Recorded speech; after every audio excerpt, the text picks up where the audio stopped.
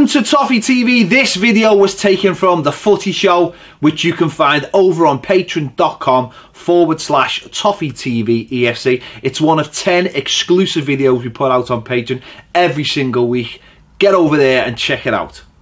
in this meeting, there's another thing which is, for me, it's just absolutely disgusting. I've got no time for this fella anyway, literally no time for him. He's just, he, I just think he's horrible, horrible fella, and he's a cheat. And I'm going to say it because he's come out and openly said about, I'm talking about Scudamore, um, Richard Scudamore. You know, I heard that uh, he's a slime ball, and again, there's another thing. I heard the thing, uh, an interview with him a couple of years ago when United had finished seventh when Moyes was there, and it was, we've got to do everything we can to get Man United back in the top four. We've got to have our big brands at the top of this league.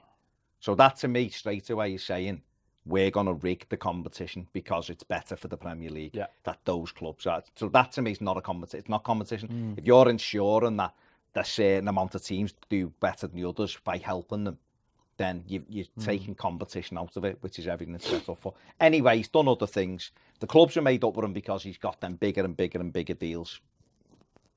Right. So it's come out this week. Bruce Buck, who's a Chelsea knobhead, and their fans don't even like him, has has come out and said that every Premier League club should donate two hundred and fifty thousand pound to give Scudamore a golden handshake as he's leaving. I think Because it's that's what he needs. because if he doesn't get it, yeah. he'll only. I think he's down to his last twenty million. Yeah, he's So- earned twenty-seven and a half million Yeah. pounds so far from his role. Yeah.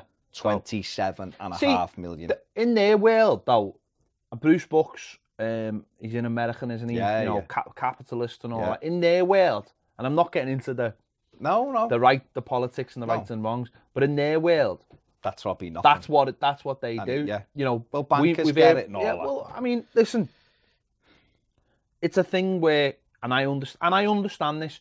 They they say, you know, if you earn, if you generate big money for us, you deserve a bonus. Now, mm. I understand that. I understand that. It's it's like anything in life. You know, if you if you earn, s- if you if your job is to earn money for someone, mm. but you go above and above, and beyond, that, you get a then you bonus. get a bonus. And I've got no problem. And I know in America, actually, bonuses are a big part of people's salaries. the thing, You know, as in National Lampoon's Christmas Vacation. You know, without, without the without his bonus, he can't get the pool pass. No. He cannot get the pool.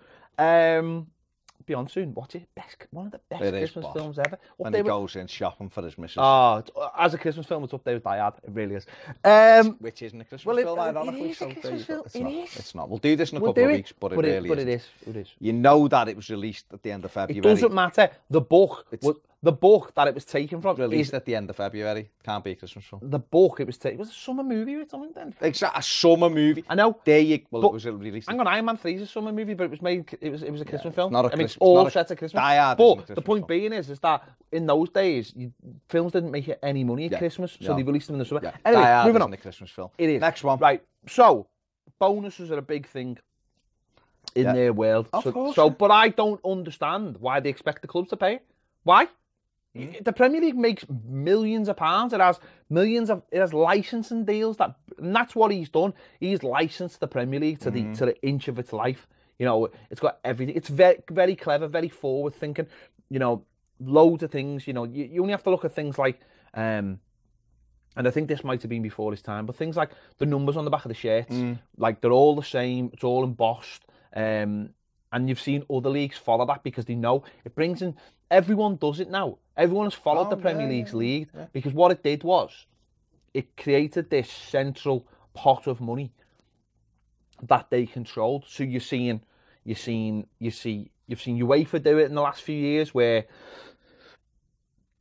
instead of everyone just doing their own TV deals, it went through them, and that's mm. why everything's embossed with FIFA UEFA on it, and that's why they've brought this essentially brought that league out so that League, yeah. so that they can control it all.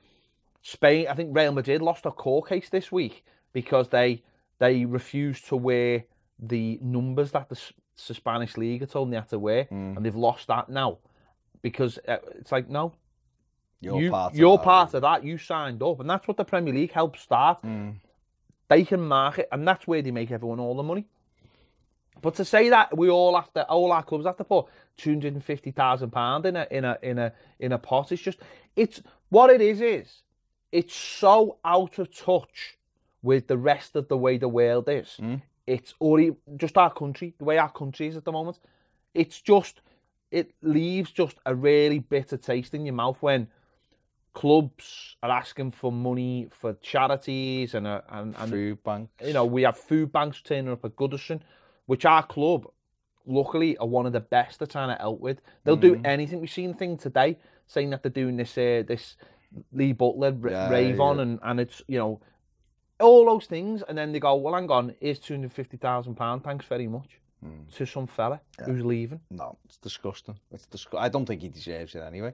They Well, will. They will. I'm they talking will. I from mean, a the reason why aspect. someone like Bruce Buck has put it forward, I know he's the head of the thing, but he'll put it forward because Scudamore in one of his last acts as the Premier League chief executive changed the rules Mm. so that the top six get more Get money than more than anyone else. anyone else, yeah. Whereas it's an even split for TV, but the pressure from the top six because they are the people who everyone wants to watch abroad.